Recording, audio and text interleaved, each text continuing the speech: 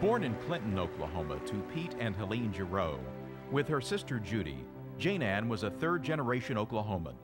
From Hammond to Sentinel to Laverne, the years of small rural communities were fundamental to all that Jane holds dear. Close community, vital church involvements, enthusiastic basketball programs, and fun friends. Jane's first pageant was Miss Cinderella at Northwestern State University at Alva, where she represented Laverne High School. But her dreams took her to Oklahoma City University, where this 19 year old sophomore became Miss Oklahoma City and then Miss Oklahoma. In September 1966, Jane became the second Miss Oklahoma to become Miss America.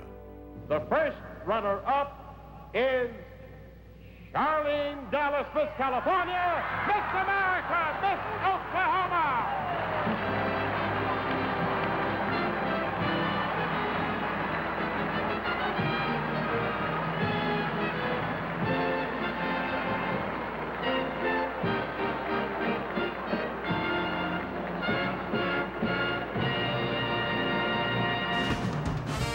Estimated 80 million viewers watched this shy, small town girl who had never flown in an airplane capture the title, which at the time was one of the most recognized in the world. At the end of the first year of constant travel, Jane became the first Miss America to visit a combat zone when she entertained our troops in Vietnam. Jane has changed the landscape of Oklahoma since she became Miss America because she gave increased pride in the state.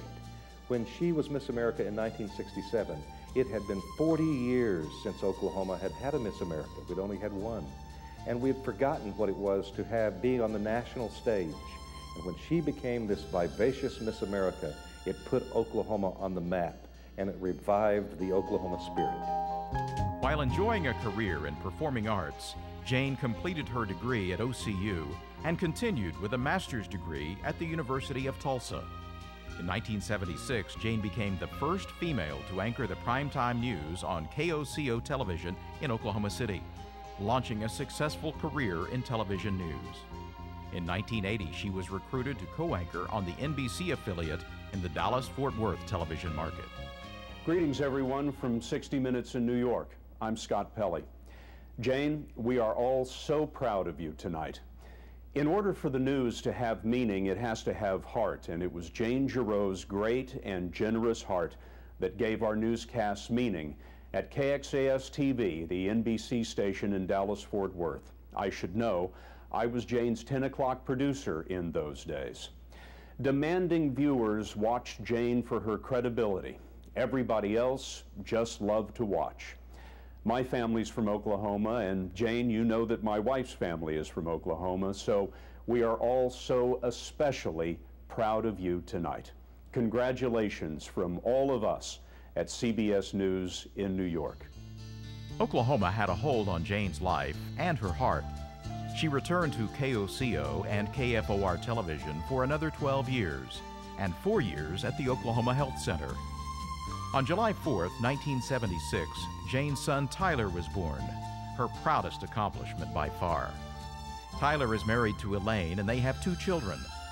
Jane's love for Oklahoma is second only to her love for family. Jane is married to Gerald Gamble. Together, they are passionate about service to the community, the Methodist Church, and Oklahoma City University. They share the joy of being grandparents to Maya and Luke. Jane has written the essay for Oklahoma 3, and her autobiography, More Grace Than Glamour, with Bob Burke, is in its second printing. In 1999, Governor Frank Keating appointed her Cabinet Secretary of Tourism. A friendship between the families flourished. My first impression of Jane is wow. She grabs you with her smile and her beauty. She envelops you with her warmth and her charm, and she leaves you with her depth and her intelligence. She's the real deal.